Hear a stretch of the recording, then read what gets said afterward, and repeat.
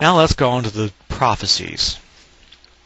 And the prophecies of uh, chapter 11 of Daniel does rather something uh, extremely incredible, if you believe it was written in the 6th century. He predicts how the king, uh, the kingdom of Alexander the Great would be divided from the 4th century to the 2nd century with uncanny accuracy. So it was just, he makes these amazing, accurate predictions of how this historical drama or this historical play of the succession of kings and how they would fight and conquer one another with, with amazing accuracy. Uh, let's take a, an example from this. His sons shall wage war and assemble a multitude of great forces, to which shall advance like a flood and pass through again and carry the war as far as his fortress. Uh, Slecalanius the second was succeeded by his son the third, who waged war against Egypt, but was assassinated in uh, 20, 223 BC, which was the time he was succeeded by Antiochus the Great. Antiochus pursued the war against the king of the south, which is more vigorous which he preceded in his predecessor, in 218 BC. He assembled a multitude of great forces and advanced easily through the Palestinian and waged the war into Gaza. So this this war basically, or this whole thing is completely accurate all the way up until verse 44. Then that's where it goes all to shit. Um, at the time of the end of the king of the south shall attack him, but the king of the north shall rush upon him like a whirlwind, with chariots and horsemen, with and with many ships, and he shall advance against the countries and pass through like a flood, and shall come like a beautiful land, and ten thousands shall fall victim. But Edom and Moab and the main part of the Ammonites shall escape from his power, and he shall be stretched out with his hand against these countries, and the land of Egypt shall not escape. And he shall become the ruler of the treasures of gold and silver, and the riches of all Egypt. And the Libynians and the Ethiopians shall follow in his train. But the reports from east and to the north shall alarm him, and he shall go forth with a great fury and bring ruin and complete destruction to many.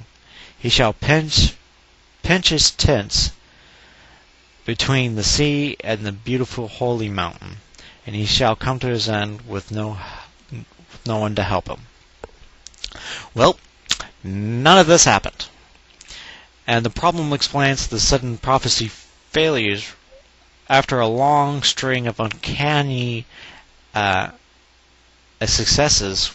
That is, the writer who lived during the time of Antioch, uh, Antiochus Epiphanes, which took uh, long back events until he reached the time when he was writing the book in order to continue these prophecies. So he actually predicted his predictions. Um, his predictions really proved incorrect. So, what the the uh, writer of Daniel was really trying to do is, you know, make all these so-called predictions and then make this other prediction which is supposed to come true. In other words, he was trying to make his real prediction believable because so much of it was really fulfilled, but really all of that was a post prediction. Which is probably why so many people believe it today, because uh, a lot of it is accurate but they sort of like count the hits and ignore the misses. You know, they try to explain it with double meanings and and all sorts of other things instead of you know taking it as a failure. So as you can see, the um, the history in Daniel is is extremely bad, and yet it was written written by a sixth century person and then it has prophecies so accurate for the second century. Well, at least to a point. So I think it's more reasonable to assume that it was written in the second century than in the sixth century. And it certainly proves that uh, the Bible is not inerrant. That's for damn sure, especially with all the scripture that is mentioned. So there is a lot of conflict in the Bible. So not only that would remove Daniel, that would remove um, Jeremiah, that would remove probably Ezekiel, that would probably remove uh, uh, the Chronicles and Kings. So that is a big chunk out of the Bible.